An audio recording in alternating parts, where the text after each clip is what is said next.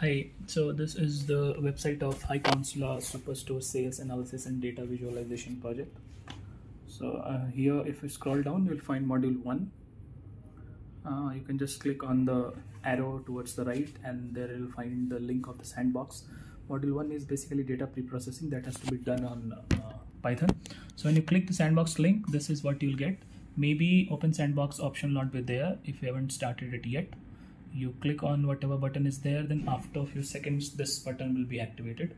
Then you have to click on open sandbox and this uh, SQL query page will open. Here you have to write all the SQL queries for all the 14 questions that have been asked in module 2 so first we'll start with module 1 where we have to do pre-processing of the dataset so for this first we need to download the dataset you click on that blue icon on overview and then there's click here you click on that click here icon and that will lead you to the dataset you can directly download this dataset that is in the form CSV. Then uh, you have to open Python and do the uh, module one task. There have been four tasks that has that is assigned for you to do. Uh, I've uploaded my uh, Python video. You can check it to understand how to do it if you are not able to uh, complete that. After that, we have to uh, convert that MySQL to sorry the CSV file to SQL, and then that will be used to write the query here. So first of all you have to uh, understand how to convert the file to SQL and upload it on the SQL server. For that you click on database info. Uh, when you click on database info you will get details after details there is one blue icon. You have to click on that. See? And then here the you have to click on that local host that is blue in color the database detail to go to the PHP admin server that is the local MySQL server.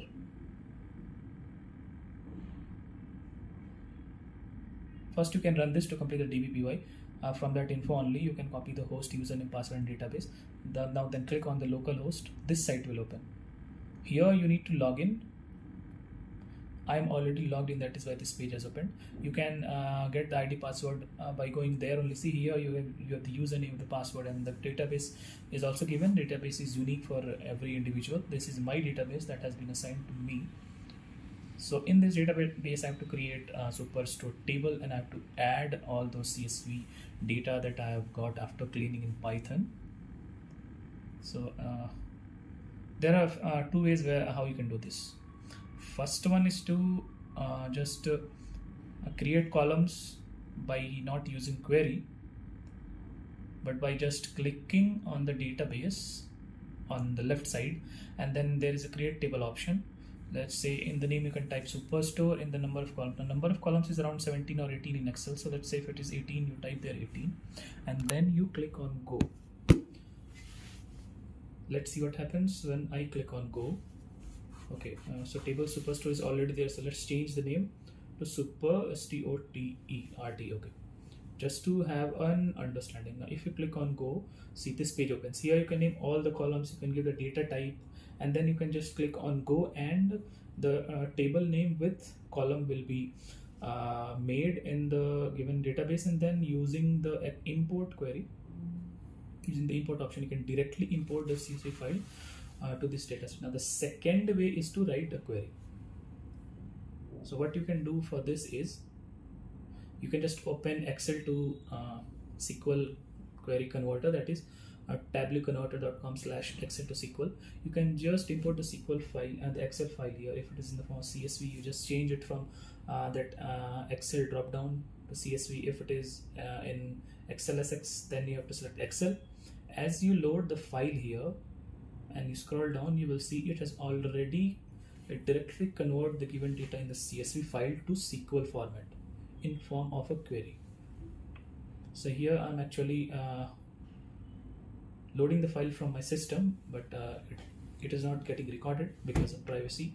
Uh, so I have uh, actually loaded the file now let's see what happens. See below as you can see table editor on the right hand side the data is already loaded in the form of CSV in the form of CSV data.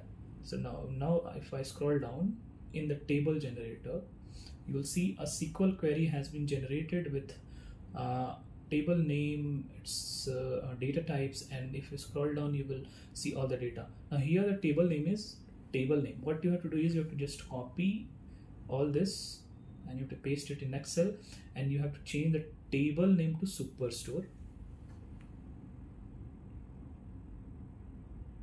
When you change the uh, table into superstore you can directly just copy paste this into my php admin server sql query and without even needing to import or create table manually you can just directly import the table as well as the data in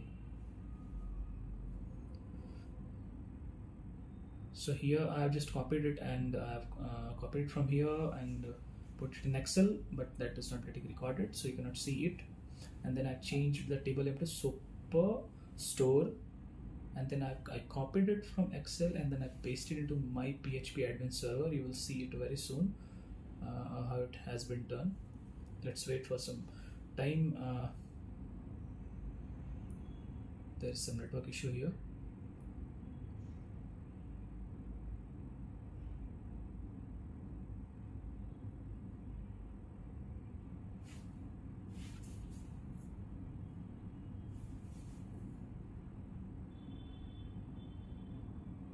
So see as I scroll down, each and every data has been converted to SQL query. You just have to change the table name because it has been said that you have to use the table superstore.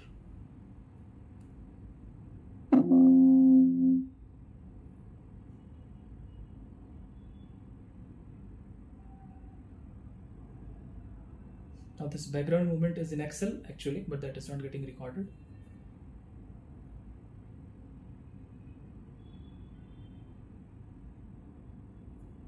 So actually this page is getting hanged maybe because the data is very large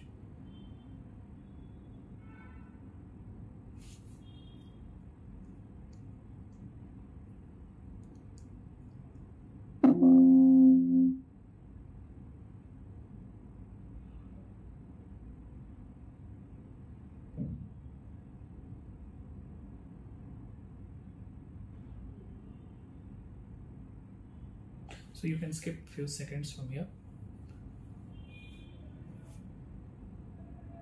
So till now I have converted the table name into superstore by you can use control F and use the replace and then you can uh, change the table name. You can replace the word table name with superstore or any other table you want to. But uh, remember you have to use table name as superstore because the dataset is superstore. So now I'm back to PHP admin that click I've clicked on SQL and I'll, then I'll directly paste this query here and then I will do nothing. I'll just click on go.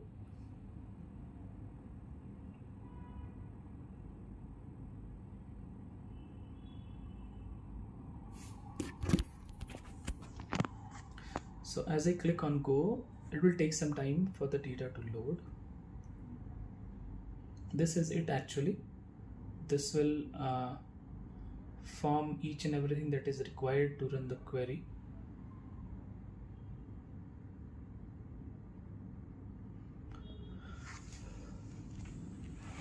So see, I've already created two tables named as A, B, C, D, E, F and Superstore. Actually, the data is same. So I'm creating this third table with the same data. I have the table name Super S T O R T. So uh, that is it. Yeah. So see, uh, the query has run. The tables and uh, content has been created in my PHP admin.